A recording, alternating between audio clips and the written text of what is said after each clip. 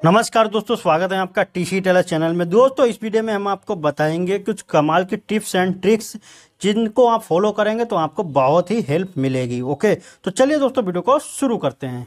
तो first trick ये है कि अगर आपका जब भी बहुत ज़्यादा मोटा कपड़ा है बहुत ज़्यादा ओवर और आपकी मशीन नहीं चल रही है उस टाइम तो आपको जो सिलना ज़रूरी है तो आप एक ट्रिक का यूज़ कर सकते हैं। जैसा कि मैं यहाँ पर आपको दिखाता हूँ, जैसे कि यहाँ पर है, ठीक है? अब ये तो मान लीजिए, देखिए, पार हो गया, ये इतना मोटा कपड़ा टाँकी हमने मारी, फिर भी पार हो गया, धागा टूटा ही नहीं। तो अब ये हम इसको और मोटा करते हैं तो फिर इसको डबल कर दिया। अब मान लीजिए, मोटा इतना आ गया तो अब आपको निकालना है यहाँ से। और कभी कभी ऐसा होता है कि गांठी टाइप का मोटा आ जाता है, और ओके तो ये नहीं टूट रही। फिर भी मैं आपको ट्रिक बता देता हूँ। धागा नहीं टूट रहा। सेटिंग क्योंकि ऐसी है। तो इसमें देखिए, आप क्या कर सकते हैं? अगर आपका यहाँ से बार बार धागा तोड़ रही है मोटे कपड़े पे, और जो है, आपकी मान लीजिए चल नहीं रही बिल्कुल भी, और टाप दे रही है, या फिर धागा काट रही है तो जो आगे का हिस्सा है, उसको खूब कस के दबा दें। और हाथ से इस तरीके से आप इसको निकाल सकते हैं पहिए से। पहिया हाथ से चलाएँगे, और आपकी मशीन बिल्कुल ही निकल जाएगी। तो आपका धागा नहीं काटेगा। ये ट्रिक मतलब ये धागा टुकड़ा नहीं है, वरना मैं आपको दिखा देता। ये ट्रिक बहुत ही अच्छी है और काम करती है। तो फ़र्स्ट स्टेप में अगर आपकी कभी भी ऐसी प्रॉब्लम आए और धागा टूट रहा है बार बार तो आप इस तरीके से आगे का हिस्सा दबा देंगे। इससे क्या होगा, दाब बढ़ जाएगी बूट की तो जो है आपकी मशीन धागा नहीं काटेगी। तो फ़र्स्ट ट्रिक ये है।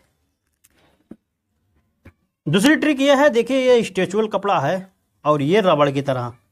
तो अब इसमें अगर सिलाई लगाना हो तो किस तरीके से लगाएँगे? सबसे तो पहले हम सिंपल सिलाई लगाएँगे और देखेंगे दाना वगैरह दे रही है नहीं दे रही है। तो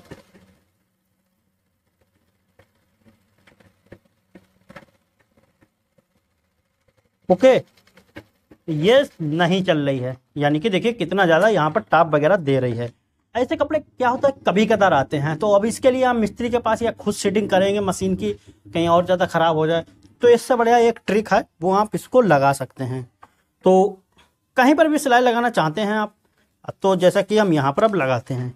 तो जब भी अगर सिलाई लगा रहे हैं स्ट्रेचुअल कपड़े पे, मान लीजिए थोड़ा सा है, लेकिन आप इस पर अगर हौजरी का कपड़ा है तो ना ही चलाएँ तो बेहतर है, क्योंकि हौजरी के कपड़े पे आपकी सिलाई तो चल जाएगी, पर कट जाता है कपड़ा बाद में, ये प्रॉब्लम आती है। लेकिन फिर भी आपका अगर स्ट्रेचुअल कपड़ा है थोड़ा सा तो आप जो है कागज़ रख के आसानी से सिलाई लगा सकते हैं। देखिए। ओके? तो देखिए, कागज़ तक ही चले।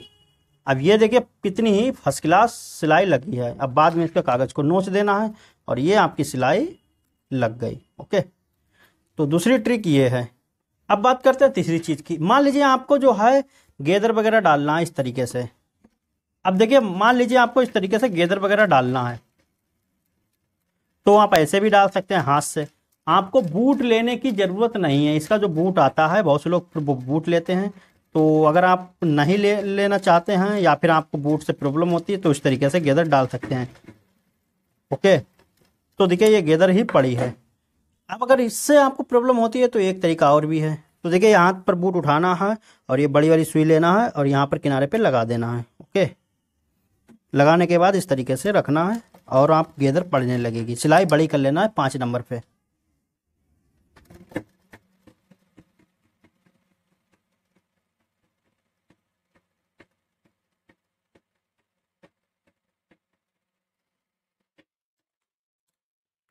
देखिए।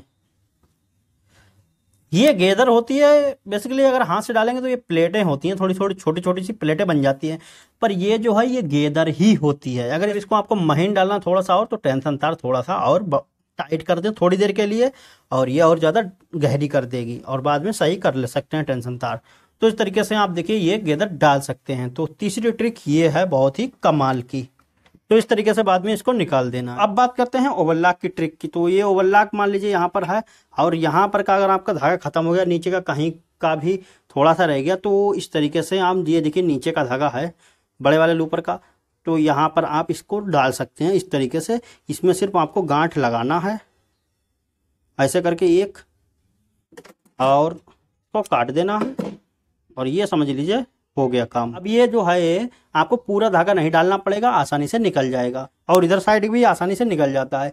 लेकिन यहाँ पर का भी आप गांठ लगा के डाल सकते हैं, लेकिन फिर भी कभी कभार ऐसा होता है, लूपर के जो छेद होता है, वो मोटा होता है थोड़ा सा बड़ा होता है, वो निकल जाता है धागा।